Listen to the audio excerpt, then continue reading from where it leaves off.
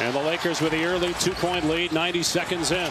And then James got a steal. Great defense. It's Lakers by six. Davis now with 10 points.